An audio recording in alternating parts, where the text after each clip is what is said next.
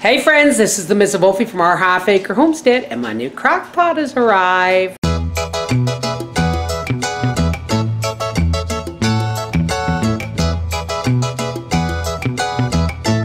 All right.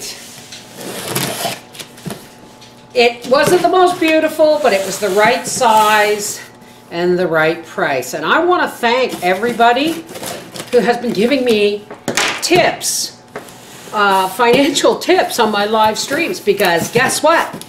You guys bought me this. So thank you. Thank you, thank you. Why would they do it in two boxes? Oh.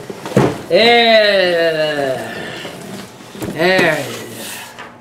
Let's have a look. Let's just, I'll tell you something, folks. I'll be glad when I can go to Value Village again, because I will gladly pay $15 for a secondhand crock pot, because this one cost me close to 60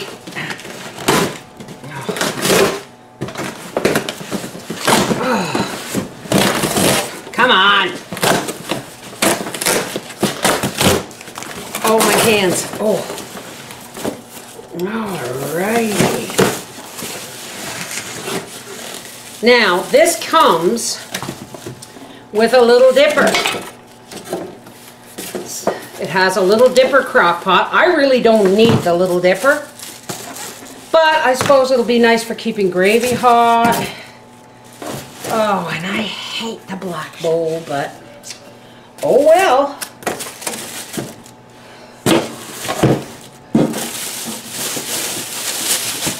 There it is, kiddies. Mama's got a brand new thing. And it does have low, high, low, keep warm.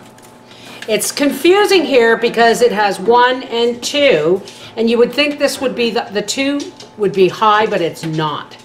This is the high, this is the medium, this is the keep warm setting.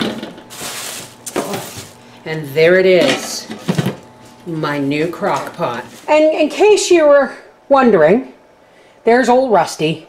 No, we're not getting rid of Rusty. Still got a lot of years left in that crock pot. This is the Miss Wolfie from our half acre homestead saying, make no mistake, I always buy secondhand first, but when I couldn't get secondhand, I couldn't live without a crock pot. So I had to buy one from Walmart. Thank you everybody who helped pay for it. Take care, God bless.